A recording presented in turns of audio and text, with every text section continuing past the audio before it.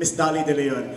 And uh, what I've learned, kasi sila yung parang tandem na tinutukan talaga kami para merong um, kasama si Direk Sig. Uh, what I've learned is you you can never, hindi totoo yung you can never over-rehearse. Kumbaga, gawin mo nang gawin, gawin mo nang gawin, and something better will always come up. So I think uh, that's lagi nilang um, pinapoint out yung working hard. Yun pala yung ibig sabihin nun, na parang you have to read it so many times. I think that's how she works it. Let's rehearse it as many times as possible.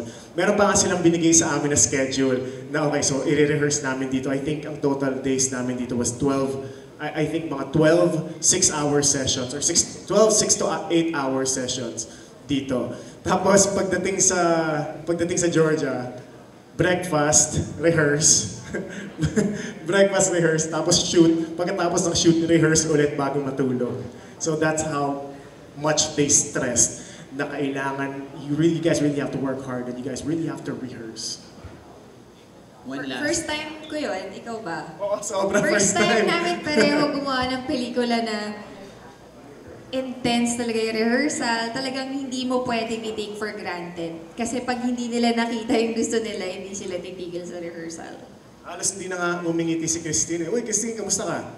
In the first place, hindi talaga ako palang ngiti. Sa sobrang bigat. Ang bigat lang kasi talaga ng, ng mga roles na dala namin. And um, I, ako, I'm hoping, we're hoping na sana makita nila sa screen yung, yung Pinaghirapan Yes, natin. yes. Yung gusto natin ibigay para sa kanila. Okay. Last na lang para sa inyong dalawa. Um,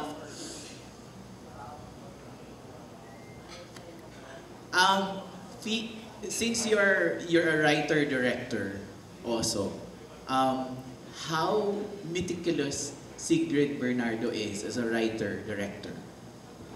sobrang meticuloso ni Direk Sigrid.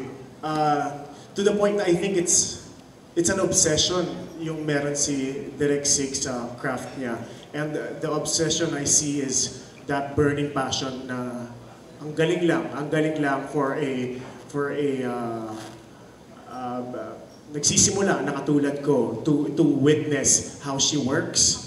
Um, especially uh, hindi lang hindi lang si Direk Sigrid eh. I also want to give credit to uh, to to the people around her. Um, grabe from from the PD to her AD to to everyone, to teacher Da- uh, Miss Dali uh, at sa lahat ng kasama namin sa production. Everyone was there to to to help. So nakaka nakaka uh, it's such a such an honor and laking pasasalamat ko na na-witness ko yun. Thank you, Jude.